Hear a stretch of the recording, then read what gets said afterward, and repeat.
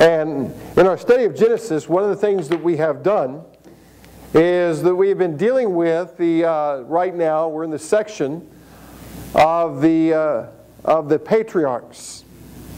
And we've learned a lot about some of the patriarchs that are part of our lineage as Christians.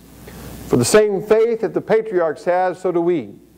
They looked forward to the Messiah coming. We look back to the Messiah, namely Jesus Christ, who has come and has died for sinners like us.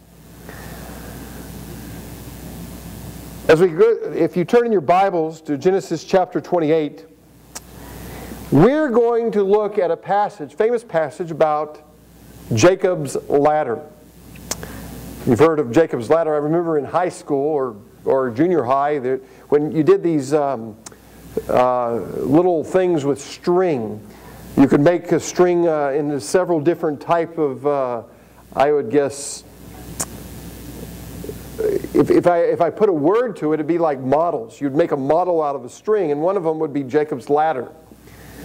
And as we look at Jacob's ladder today, we see chapter 28 of Genesis being about one thing about how God is shaping all of our lives so that not only that we would be like him that we would be we would know god but we would know god in a fellowship sort of way god is working in our lives and so even before we come to christ god is working if we are seeing god work in our life we know that everything even in our uh, uh, our, our, our time before we knew God was part of God's plan for our life. God is never late.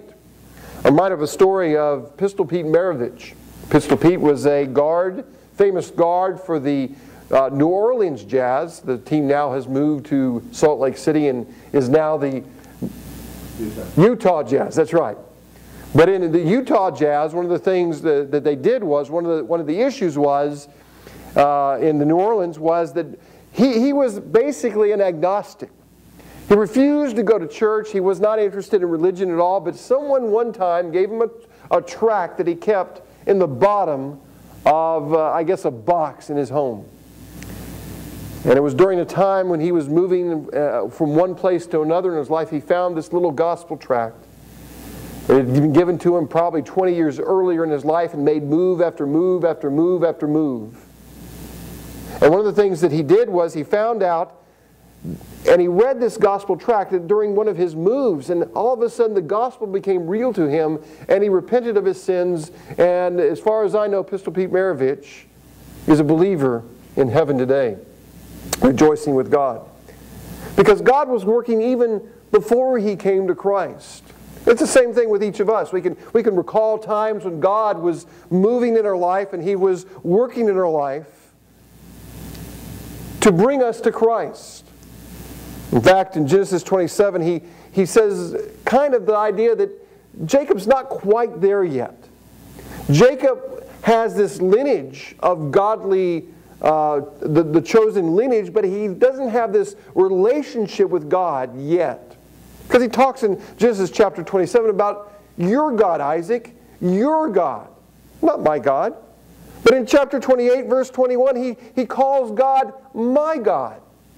And so I see that chapter 28 is a pivotal chapter for Jacob because Jacob, I believe, in this chapter professes faith in Jesus Christ as his Lord, the Messiah as his Lord.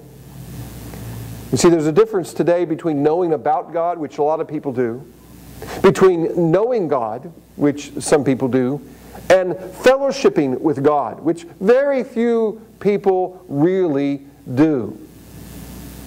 You see, all events in our lives are caused so that we would fellowship with God in an intimate and a loving way. God is working to strengthen our lives. He's working that our lives would be a point of spreading the gospel to many people in this area. And so as we look at chapter 28, we're going to look at this in two, three sections. But I want us to understand that this is all about God working in our lives. He's at work. He's at work at spreading the gospel throughout this world. He's work at establishing our fellowship, and He's working at strengthening our lives. So this morning, or this evening, excuse me, every single event in our life is part of God's good and sovereign plan for us. Look with me at chapter 28, verse 1. I want to read the first nine verses first because we see this in several ways. It says, the Bible says, Then Isaac called Jacob, blessed him, and directed him, You must not take a wife from the Canaanite women.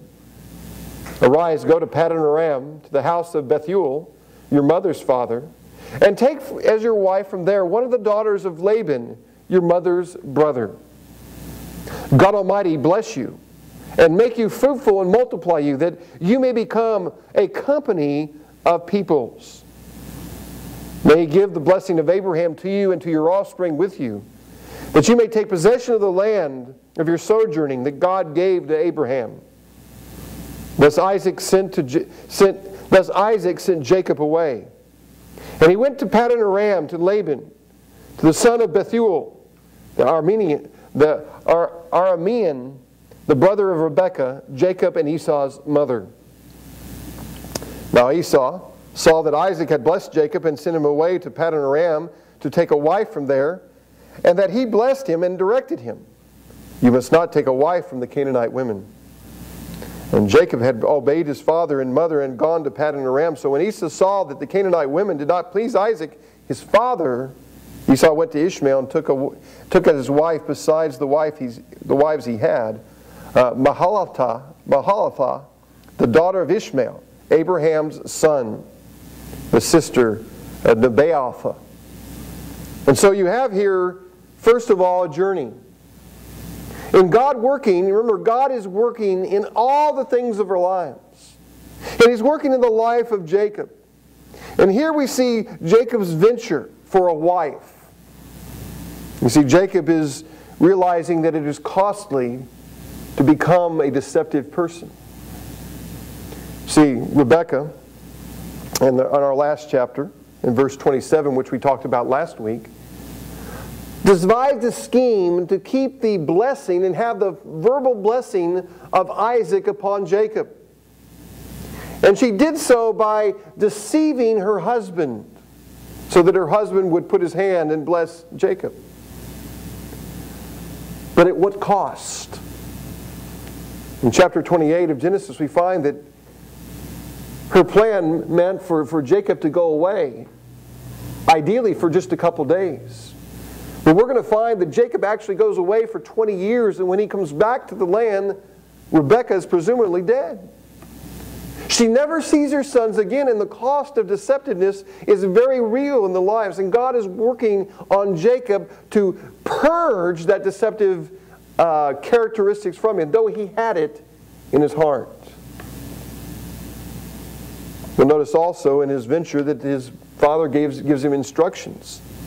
He gives him instructions to go and marry a woman from their family, not a Canaanite woman. This is very important because the lineage of the Messiah would have been broken if, if Jacob had married a Canaanite woman. Well, the unusual thing about this is that, yeah, Jacob's old, He's about 77 years old. It's kind of old to be thinking about getting married, isn't it? Wouldn't you say? Now we know that he didn't get married until seven years after that, 84 years old. So the wedding ceremony was a lot of people that were older in years.